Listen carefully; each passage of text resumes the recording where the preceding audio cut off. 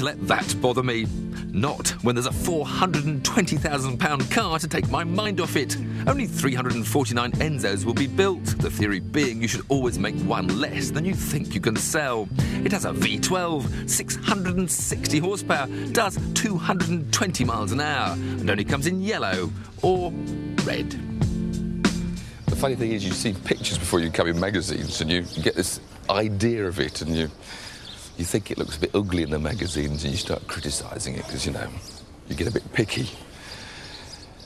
And then you see it for real, and all the hair stands up on your arms. It looks stunning.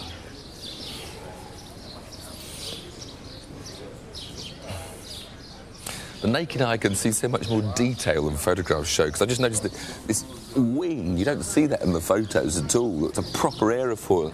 It is the detailed touches, little rear lights.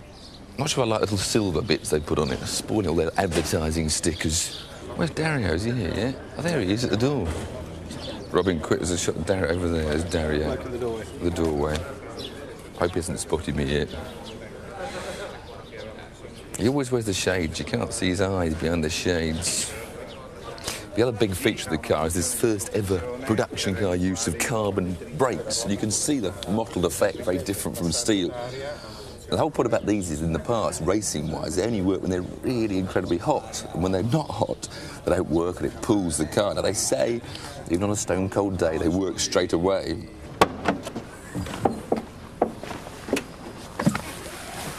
And finally, I'm in Enzo Ferrari.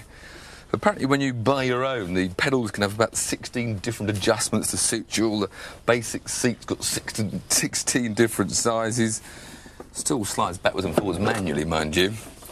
And uh, at long last, but it started with the Ferrari 360, you've now got adjustable steering wheels. Because the days prior to the 360, they were horrible driving positions. Now they're brilliant, fantastic. Real Formula One steering wheel. There's those lights that apparently come on with the revs. You've got all sorts of mode settings here. Traction control settings there. Of course, now as you'd expect with the Ferrari, paddle gear change, up on the right, down on the left. Big start button to fire up that uh, six litre V12, which I can see in the rear view mirror. Very nice.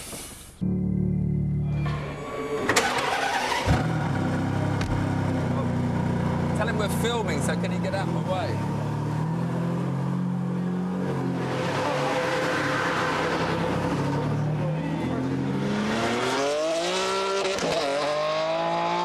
Suddenly, at half past two, they say, lunch is over, you're in. Another change of plan.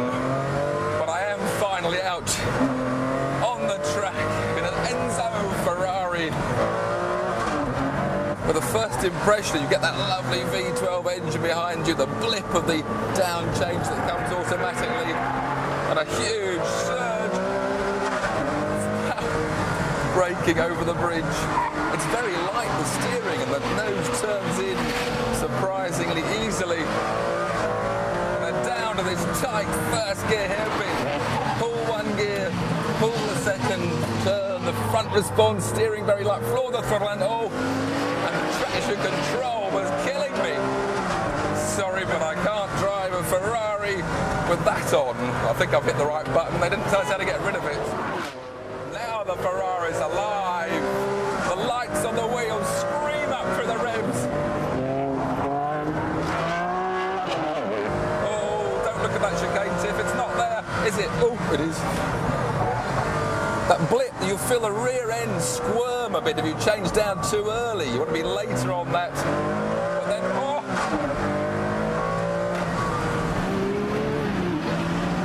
brake, blip, change down later, Tiff. That's what this car wants. Now I haven't got traction. Hit the horn again I cross my hands.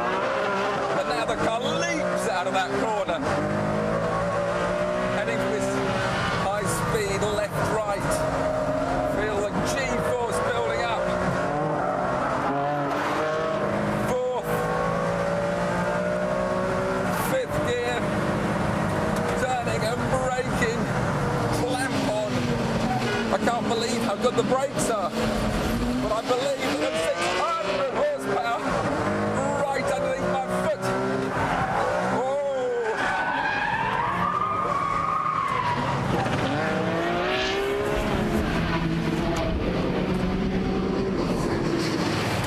It's been five minutes and it's gone. And uh, it's hard to know how to sum up this Enzo Ferrari after a short uh, experience as that, but it's, it's perhaps not as elegant nor as practical as a McLaren F1. It's, it's not as exotic as the Pagani Zonda.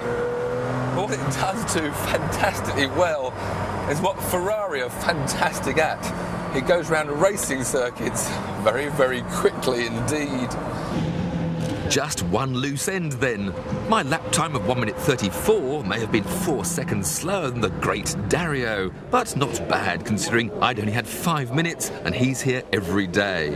And it was, I'm proud to report, the quickest journalist time of all. So, what did Dario think of that? Bello. There you go. Bello. Friends again.